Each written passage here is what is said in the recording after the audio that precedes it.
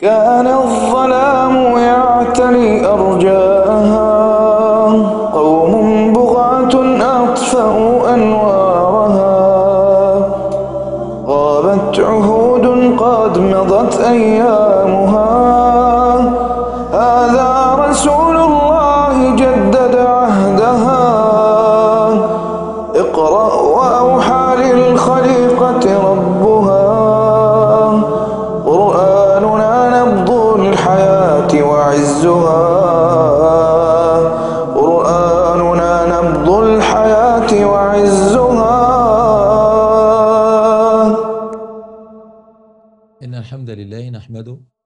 ونستعين ونستغفره ونعوذ بالله من شرور أنفسنا وسيئات أعمالنا. من يهده الله فلا مضل له ومن يضلل فلا هادي له. وأشهد أن لا إله إلا الله وحده لا شريك له وأشهد أن محمدا عبده ورسوله. اللهم صل على محمد وعلى آل محمد كما صليت على إبراهيم وعلى آل إبراهيم إنك حميد مجيد. اللهم بارك على محمد وعلى آل محمد كما باركت على إبراهيم وعلى آل إبراهيم إنك حميد مجيد. أما بعد فإن أصدق الحديث كتاب الله تعالى وأحسن الهدي هدي محمد صلى الله عليه وآله وسلم وشر الأمور محدثاتها وكل محدثة بدعة وكل بدعة ضلالة وكل ضلالة في النار. مرحبا بحضراتكم في لقاء جديد من أزهار من رياض الصالحين وقد وصلنا إلى الحديث آه، العاشر وقد آه، كنت قرأته وبدأت فيه في الحلقة آه، السابقة. حديث أبي بكر نفيع بن الحارث الثقفي رضي الله عنه أن النبي صلى الله عليه وسلم قال إذا التقى المسلمان بسيفيهما فالقاتل والمقتول في النار. قلت يا رسول الله عليه الصلاة والسلام السائل هو أبو بكر رضي الله عنه هذا القاتل فما بال المقتول؟ قال إنه كان حريصا على قتل صاحبه. والحديث متفق عليه أي رواه البخاري آه، ومسلم. ويعني النصيحة آه، إذا أردت أن تستفيد استفادة أكبر فيكن بين يديك آه، كتاب رياض الصالحين كتاب رياض الصالحين. والحمد لله متوافر في غالب آه، البيوت. كتاب رياض الصالحين وتابع على الأقل آه، الحديث الذي نحن نتكلم آه، عنه. ولا تقل هذه مسائل علمية لا شأن لنا بها. وهو الذي جعل الأمور يختلط الحابل بالنابل وجعل الكثير من الناس يصدقون أي أحد يتكلم في أي شيء. هو قلة العلم. هو قلة العلم. فلو أننا صبرنا على العلم ولا توجد أمور مستغلقة يعني إحنا نبسط بفضل الله سبحانه وتعالى ليفهم آه، الجميع. فلو أن الناس استمعوا إلى العلم وصبروا على العلم ما كان آه، دخل عليهم كلام أي أحد يتكلم في آه، أي شيء وخاصة عندما يتكلم في الدين فصار الكلام في الدين آه، لكل أحد يتكلم في الدين. الدين ليس حكرا على أحد إنما بالعلم. تعلم وتمكن ثم انظر وتكلم. يعني اطلب العلم يعني أولا يمكن أن يتكلم آه، أي أحد لا يعرف شيئا عن شرع الله سبحانه وتعالى ويفتي في المسائل ويقاعد المسائل. فهذا بسبب والناس يتلقون هذا وإحنا يعني نعيش في الفتاوى والاتصالات ونرى ذلك بأعيننا ونسمعه بآذاننا ف- من أجل هو عدم صبر الناس على على العلم على العلم وفهم وفهم العلم آه، الشرعي. والله سبحانه وتعالى يقول للنبي عليه الصلاة والسلام فاعلم أنه لا إله إلا الله. وقد بوب الإمام البخاري عليه رحمة الله باب العلم قبل القول والعمل. باب العلم قبل أن تقول وقبل أن تعمل لابد أن تسأل في آه، المسائل. نعود لحديث أبي بكرة رضي الله عنه ذكرت أنه كني بهذه الكنية لأنه نزل تدلى ببكرة من أعلى حصن الطائف لما ضرب النبي عليه الصلاة والسلام الحصار على الحصن فإن أبا بكرة رضي الله عنه تدلى ببكرة من أعلى آه، الحصن. ورأينا أنه بسبب هذا الحديث لم يشارك في الحروب التي دارت بين الصحابة آه، واستند لهذا الحديث.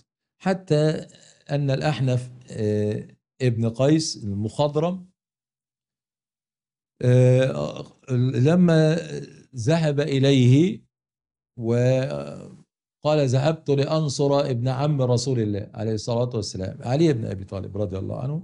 فلقيني أبو بكرة رضي الله عنه. قال أين تريد؟ فقلت أنصر هذا الرجل. يعني وفي رواية أريد نصرة ابن عم رسول الله صلى الله عليه وسلم. فقال أرجع. فإني سمعت رسول الله عليه الصلاة والسلام يقول الحديث إذا التقى المسلمان بسيفيهما فنصحه آه، أن ألا يشارك ألا آه، يشارك.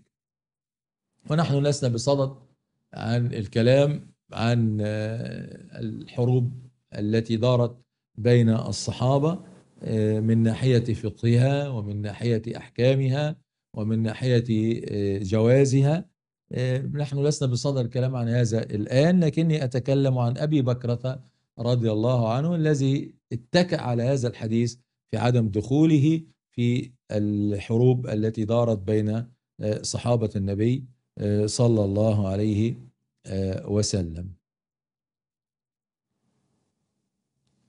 إذا التقى المسلمان بسيفيهما قاصدا كل واحد منهما قتل صاحبه. يعني هذا يريد قتل صاحبه وهذا يريد قتل صاحبه. ففي الحديث العقاب على من عزم على المعصية بقلبه ووطن نفسه عليها. وأبو بكرة رضي الله عنه كما آه، ذكرت تمسك بهذا الحديث في ترك القتال في الفتنة. وذكر السيف هنا على سبيل المثال. وعلى سبيل التمثيل على سبيل التمثيل وليس وليس على سبيل التعيين.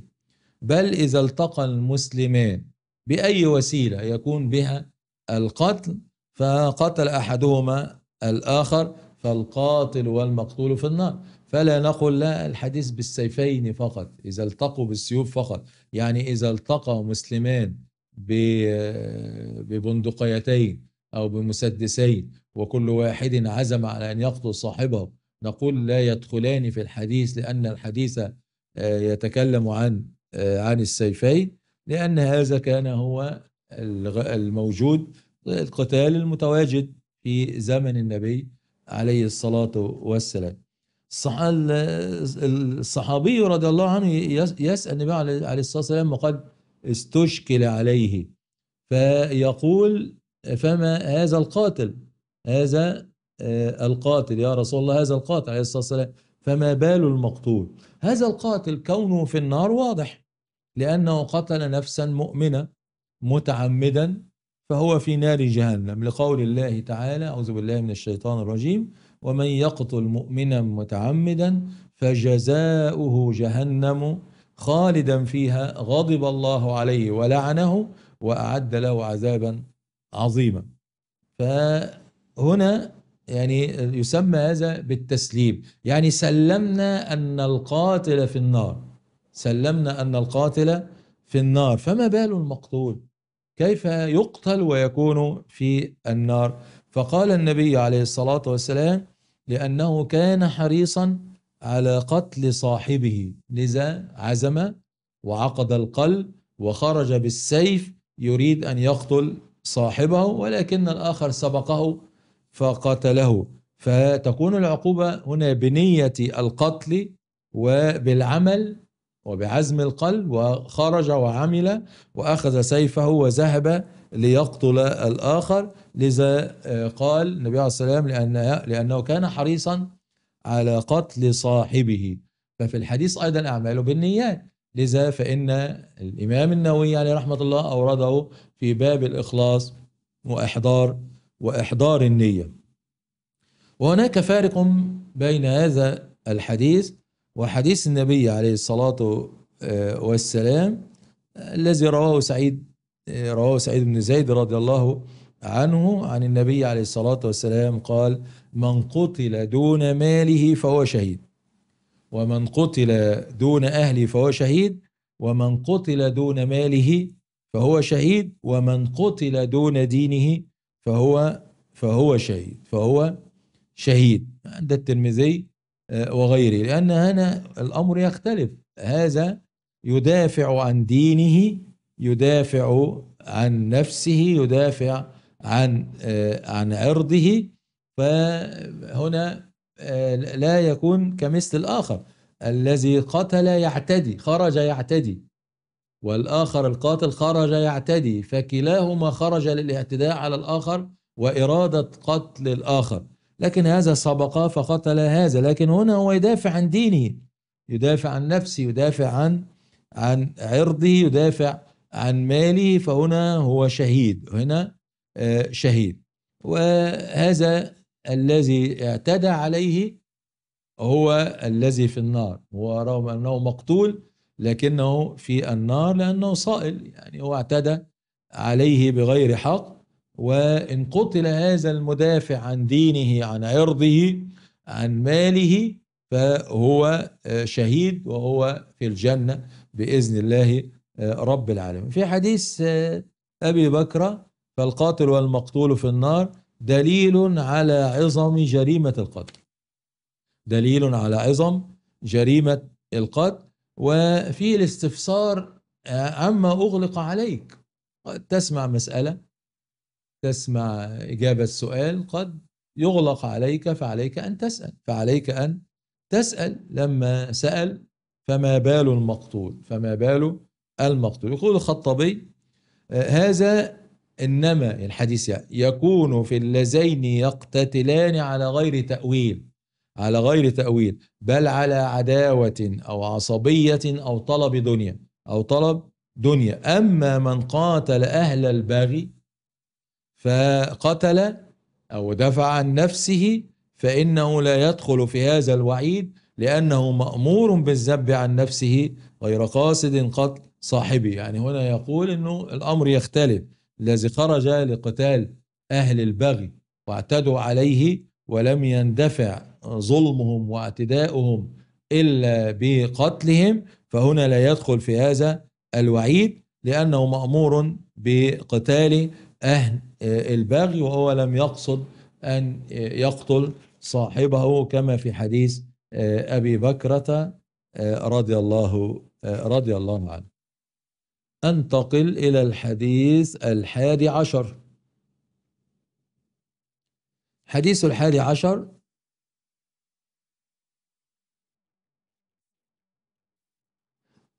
وعن أبي هريرة رضي الله عنه قال قال رسول الله صلى الله عليه وسلم صلاة الرجل في جماعة تزيد على صلاته في سوقه وبيته بضعا وعشرين درجة وذلك أن أحدهم إذا توضأ فأحسن الوضوء ثم أتى المسجد لا يريد إلا الصلاة. لا ينهزه إلا الصلاة. لم يخط خطوة إلا رفع له بها درجة وحط عنه بها خطيئة حتى يدخل المسجد. فإذا دخل المسجد كان في الصلاة ما كانت الصلاة هي تحبسه. والملائكة يصلون على أحدكم. ما دام في مجلسه الذي صلى فيه يقولون اللهم ارحمه اللهم اغفر له اللهم تب عليه ما لم يؤذ فيه ما لم يحدث فيه. متفق عليه متفق عليه. حديث أبي هريرة رضي الله عنه هذا حديث عظيم فيه فوائد كثيرة لذا سنطيل النفس عنده نقتطف منه أزهارا بإذن الله رب العالمين. أبو هريرة رضي الله عنه سبق أن تكلمت عنه يعني ترجمة موجزة عنه رضي الله عنه آه، كالطريقة المتبعة فإننا ننظر هل هناك آه، زيادات في روايات آه، الحديث. آه، نعم. ننظر إلى آه، الروايات. صلاة الرجل في جماعة تزيد على صلاته في بيته وصلاته في سوقه خمسا وعشرين درجة. خمسا وعشرين درجة. الرواية التي معنا بضعا وعشرين درجة. وفي رواية صلاة مع الإمام أفضل من خمس وعشرين صلاة يصليها وحده. صلاة مع الإمام أفضل من خمس وعشرين صلاة يصليها وحده. وفي رواية صلاة الرجل في الجماعة تزيد على صلاته وحده سبعا وعشرين. سبعا وعشرين كلها مثل صلاته في بيته مثل صلاته في بيته. وذلك أن أحدكم إذا توضأ فأحسن الوضوء ثم أتى المسجد لا يريد إلا الصلاة. لم يخط خطوة من بيته إلى مسجده إلا رفعه الله بها درجة وحط عنه خطيئة حتى يدخل المسجد. فإذا دخل المسجد كان في صلاة ما كانت الصلاة هي تحبسه. لا يمنعه أن ينقلب إلى أهله إلا الصلاة وتصلي عليه الملائكة ما دام في مجلسه الذي صلى فيه يقولون اللهم صل عليه اللهم ارحم اللهم اغفر له اللهم تب عليه ما لم يحدث فيه ما لم يؤذي فيه هذه كانت الجمع لروايات أخرى من خارج من خارج الصحيحين وهي وهي صحيحة وهي صحيحة بإذن الله رب العالمين. كما قلت الحديث حديث فيه فوائد كثيرة. ويبين فضل صلاة الجماعة للرجال وسنقتطف منه أزهارا بإذن الله رب العالمين. أول هذه الأزهار هي في فضل صلاة الجماعة في فضل صلاة الجماعة. صلاة الجماعة فضلها ورد في فضلها أحاديث كثيرة عن النبي عليه الصلاة والسلام منها عن ابن عمر رضي الله عنهما. كان رسول الله رضي الله عنهما أن رسول الله عليه الصلاة والسلام قال صلاة الجماعة تفضل صلاة الفز فز يعني الفرد بمفرده بسبع وعشرين درجة متفق عليه. وعن أبي سعيد الخدري رضي الله عنه قال قال رسول الله صلى الله عليه وسلم الصلاة في جماعة تعدل خمسا وعشرين صلاة فإذا صلاها في فلاة فأتم ركوعها وسجودها بلغت خمسين صلاة وهذا سأعود إليه الصلاة في الفلاة نعم. وعند البخاري صلاة الجماعة تفضل صلاة الفز الفرد بخمس وعشرين درجة. وعن عثمان بن عفان رضي الله عنه أن رسول الله صلى الله عليه وسلم قال من توضأ للصلاة فأسبغ الوضوء ثم مشى إلى الصلاة المكتوبة فصلاها مع الناس أو مع الجماعة أو في المسجد غفر الله له ذنوبه عند مسلم وغيره. وعن عثمان أيضا رضي الله عنه أن النبي صلى الله عليه وسلم قال من صلى العشاء في جماعة فكأنما قام نصف الليل ومن صلى الصبح في جماعة فكأنما صلى الليل كله. نعم. عند مسلم وغيره. وعند الترمذي من شهد العشاء في جماعة كان له قيام نصف ليل ومن صلى العشاء والفجر في جماعة كان له كقيام ليلة فهذا يوضح ربما يعني يشكل علينا الحديث منطوق الحديث الذي ذكرته عند مسلم لو من صلى العشاء في جماعة فكأنما قام نصف الليل ومن صلى الصبح في جماعة فكأنما صلى الليل كله. فيشكل علينا أن من صلى ال- الفجر في جماعة كأنما قام الليل بكامله. لكن رواية الترمذي مفسرة فبينت أن من صلى العشاء في جماعة له أجر.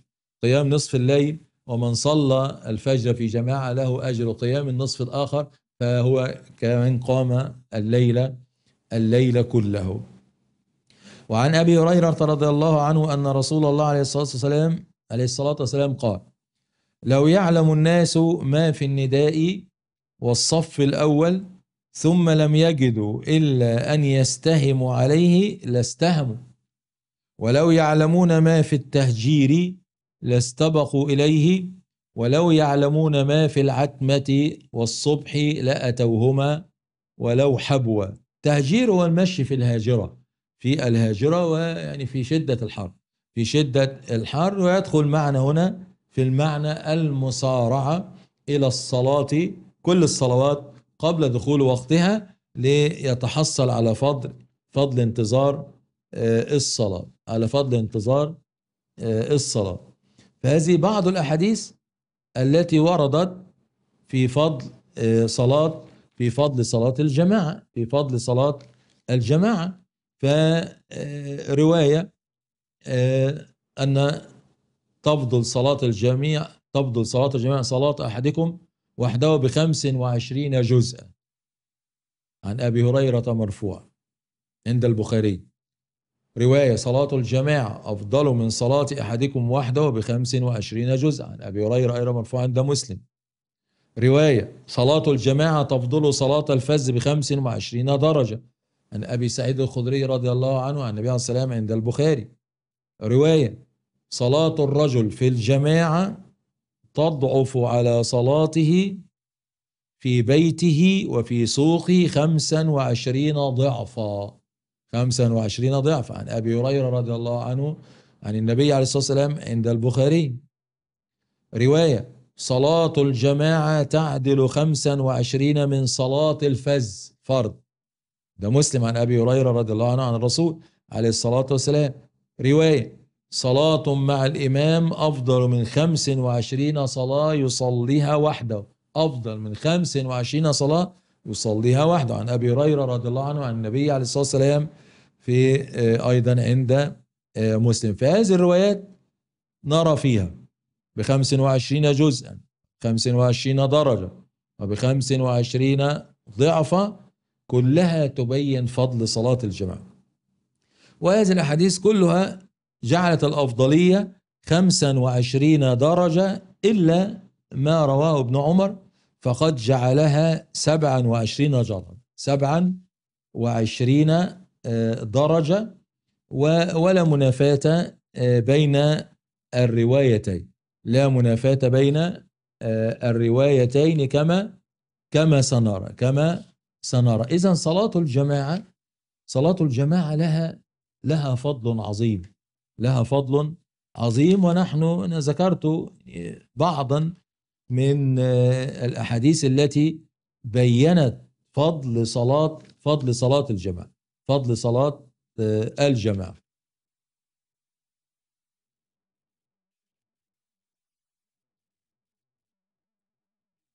نعم. وهذا كان في فضل صلاة الجماعة. في فضل صلاة الجماعة. نعم. أريد أن أقف على آه، الروايتين. الرواية التي آه، فيها بخمس وعشرين درجة والرواية التي فيها بسبع بسبع وعشرين درجة بسبع وعشرين آه، درجة. نعم آه، الروايات وردت بخمس وعشرين درجة أو بخمس وعشرين ضعفا. رواية ابن عمر رضي الله عنهما وهي رواية متفق عليه يعني في أعلى درجات الصحة آه، وردت بسبع وعشرين درجة بسبع وعشرين درجة. فكيف نجمع بين الروايتين؟ لا منافاة بين الروايتين. فهناك أوجه للجمع. ذكر الإمام النووي قال إن هذا مفهوم عدد ومفهوم العدد فيه خلاف بين الأصوليين وهذا سأرجع إليه. سأرجع إلى مسألة مفهوم العدد هذه. وقال الوجه الآخر أن يكون أخبر أولا بالقليل يعني النبي عليه الصلاة والسلام أخبر أولا بفضل صلاة الجماعة 25 تعدل صلاة الفجر ب 25 جزءا ثم أعلمه الله تعالى بزيادة الفضل ب 27 جزءا فأخبر به فأخبر بها سنقول هذا يحتاج إلى معرفة التاريخ يعني معرفة تاريخ أن من ذكر رواية الخمسة وعشرين تقدم عمن ذكر رواية السبعة والعشرين يعني من ذكر رواية السبعة وعشرين تأخر. ويعني نحتاج إلى معرفة التاريخ. لكن عندنا قرينة. هذه القرينة هي عظم فضل الله سبحانه وتعالى. فالله سبحانه وتعالى من فضل من عظيم فضله على المسلمين أنه لا تنزل الدرجات وإنما ترتفع. وإنما ترتفع هذه قرينة. هذه قرينة يعني يعني تجلي أو تبين لنا أن الله سبحانه وتعالى ما نقص الأجر بعد الزيادة لكن العكس الزيادة بعد بعد النقص فيكون أخبر اولا بالقليل ثم أعلمه الله سبحانه وتعالى بزيادة فضله فأخبر بها. الوجه الثالث أنه يختلف باختلاف أحوال المصلين والصلاة. فتكون لبعضهم 25 ولبعضهم 27 بحسب كمال الصلاة. بالمحافظة على هيئاتها على خشوعها على كثرة الجماعات على فضل من يصلي معهم على شرف البقعة ونحو ذلك. هذه الأوجه ذكرها الإمام النووي عليه رحمة الله في المجموع في المجموع. الحافظ ابن حجر أضاف يعني وجها آخر قال إن السبعة والعشرين للصلاة الجهرية وإن الخمسة والعشرين للصلاة السرية. قال إن السبعة والعشرين للصلاة الجارية وإن الخمسة والعشرين للصلاة السرية هناك أوجه أخرى يعني أعرضت أنا ذكرت يعني إيه هذه الأوجه الأربعة. سريعا أشير إلى ما ذكره الإمام النووي اللي هو مسألة إيه مفهوم العدد ده الذي فيه خلاف بين الأصوليين. سريعا كده سريعا لن أطيل فيها. هو مصطلح مفهوم العدد ده مصطلح. مصطلح يعني يذكره الأصوليون في باب مفهوم المخالفة في باب مفهوم المخالفة. مفهوم المخالفة أن يحكم للمسكوت عنه بخلاف حكم المنصوص عليه. مفهوم العدد أنه هل يعلق الحكم الشرعي على العدد المذكور في النص أم لا يعلق على العدد المذكور في النص؟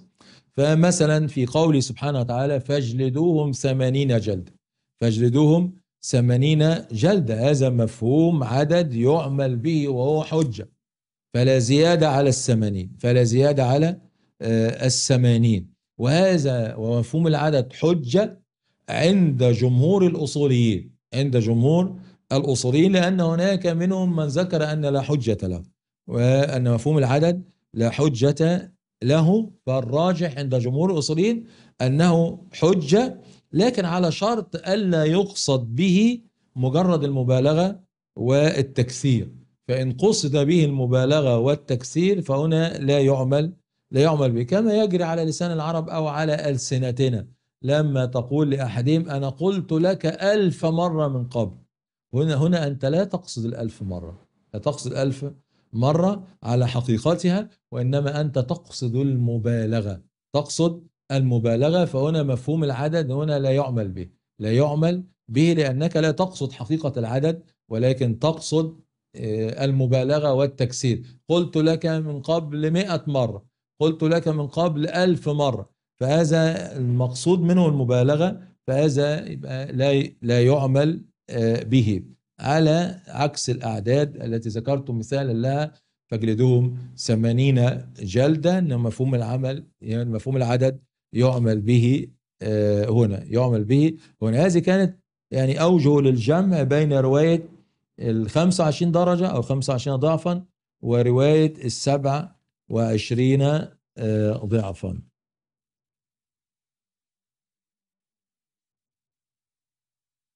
نأتي بعد أن تكلمت عن فضل صلاة الجماعة. في الحديث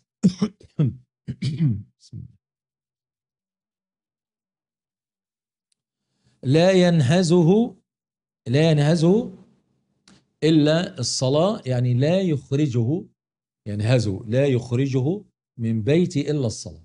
لا يخرجه من بيتي إلا إلا الصلاة. بضع بضع وعشرين درجة في هذه الرواية التي آه، لم يذكر فيها خمسة وعشرين آه، ولا سبعة وعشرين آه، بضع بكسر الماء أو بضع بإيه؟ بكسر الباء معذرة أو بفتح الباء أو بفتح الباء. يعني بكسر الباء وفتحها ما بين الثلاث إلى التسع وقيل من ثلاث إلى عشر لكن هنا ذكر خمسا وذكر وذكر سبعا. صلاة الرجل في جماعة صلاة الرجل في جماعة أي في المسجد أي في المسجد. تزيد على صلاة في بيته جماعة كانت أو فرادى صرح به الحافظ في الفتح. يعني هنا صلاة الجماعة في المسجد تزيد على صلاة الرجل في بيته حتى لو كانت جماعة كما صرح الحافظ في الفتح. آه، المراد صلاته في بيتي أو سوقي بمفردي أم أن المراد أن المقصود أن الصلاة في بيتي أو سوقي بمفردي ليس في جماعة. يقول الحافظ في الفتح مقتضى الحديث أن الصلاة في المسجد جماعة تزيد على الصلاة في البيت جماعة أو فرادى أن الصلاة في المسجد جماعة تزيد على الصلاة في البيت جماعة أو فرادى وقال ابن دقيق العيد ابن دقيق العيد والذي يظهر لي أن المراد بمقابل الجماعة في المسجد الصلاة في غير منفردة لكنه خرج مخرج الغالب. في في أن من لم يحضر الجماعة في المسجد صلى منفردا. يعني في الغالب أن من لم يأتي المسجد فإنه يصلي يصلي بمفرده.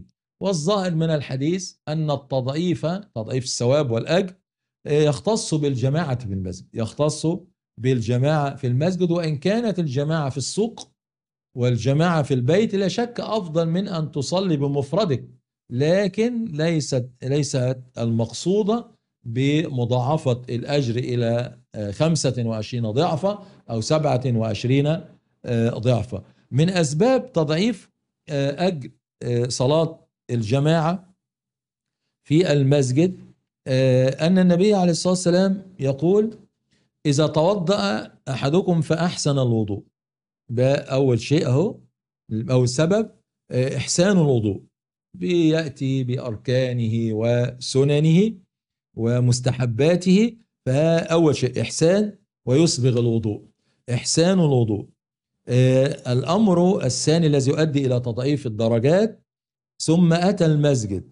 ثم أتى المسجد لا يريد إلا الصلاة. فهنا النية. هنا النية. فهو ما أخرجه من بيته آه، إلا الصلاة.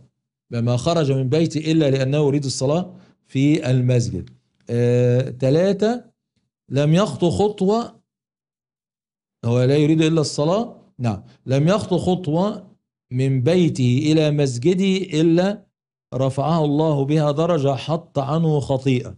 وحط عنه خطيئة. رفعه الله بها درجة أي بسبب هذه الخطوة ترفع درجة يرفع درجة مرتبة ومنزلة وتحط عنه خطيئة أي توضع عنه خطيئة أي ذنبا ذنبا. وكان في الصلاة كان في الصلاة أي في ثواب الصلاة. ما كان في ثواب آه، الصلاة طالما هو ينتظر الصلاة. ما كانت الصلاة هي تحبسه. ما كانت الصلاة هي هي آه، تحبسه. أي إن جلوسه من أجل الصلاة وانتظار الصلاة والملائكة يصلون على أحدكم يدعون له ما دام في مجلسه الذي صلى فيه اللهم ارحم اللهم اغفر اللهم تب عليه ما لم يؤذي فيه ما لم يؤذي فيه. لا ينهز إلا الصلاة اعتبار الإخلاص اعتبار الإخلاص وصدق النية. وفي الأسب... والحديث إشارة إلى بعض الأسباب التي ترفع الدرجات ترفع آه، الدرجات. من هذه يعني آه، خمسة قيود أو شروط لتتحصل على هذه الدرجات العليا المذكورة في الحديث. أول هذه الشروط أو القيود توضأ فأحسن الوضوء. ثم أتى المسجد يأتي إلى المسجد. لا يريد إلا الصلاة نيته أنه خرج من بيته إلى المسجد لا يريد إلا إلا الصلاة. وأربعة ما لم يحدث فيه تحسب له صلاته لأنه في انتظار الصلاة ما لم يحدث يأتي بحدث فيه ما لم يؤذي فيه ما لم يؤذي فيه أحدا هذه خمسة هذه خمسة. يؤدي إلى رفع الدرجات. الثواب أنه آه، واحد لم يخطو خطوة من بيتي إلى مسجدي إلا رفعه الله بها درجة. يبقى رفع أو تر كل خطوة ترفعك درجة. وتحط عنك خطيئة وكل خطوة تحط عنك خطيئة. اتنين فإذا دخل المسجد كان في صلاة ما كانت الصلاة هي تحبسه. ثلاثة لا يمنع أن ينقلب إليه إلا الصلاة. أربعة وتصلي عليه الملائكة ما دام في مجلسه الذي صلى فيه. يقولون اللهم صل عليه اللهم ارحمه اللهم اغفر له اللهم تب عليه. اللهم تب عليه. فهذا يؤدي هذه كلها تؤدي إلى تكسير آه، الحسنات. تكسير الحسنات وإلى حط حط السيئات. إلى حط السيئات. وفي الحديث الاجتماع والتعاون على الطاعة والألفة بين جيران المنطقة جيران الحي.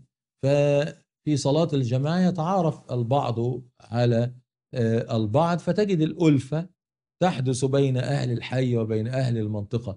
الذي لا يصلي الجماعة ربما لا يعرفه أهل الحي ولو كان يعني في البيت المجاور له لأنه لا يرى لا يرى انه آه، لا يرى. ففي الاجتماع والتعاون على الطاعة الألفة بين الجيران وأهل الحي. وأيضا فيه السلامة من إساءة الظن به لأنك لا تراه ابدا يأتي إلى المسجد.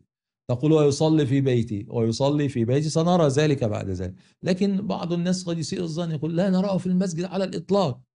فهل هو يعني يصلي أم لا يصلي؟ نحن نحسن الظن به ونقول ويصلي في بيتي. لكن سنرى يعني كلام عن الصلاة آه، في البيت. وفي الحديث صلاة الملائكة واستغفارهم وفي الحديث أن صلاة في الجماعة في المسجد أفضل من 25 صلاة يصليها في بيته أو في سوقه أو في آه، سوقه.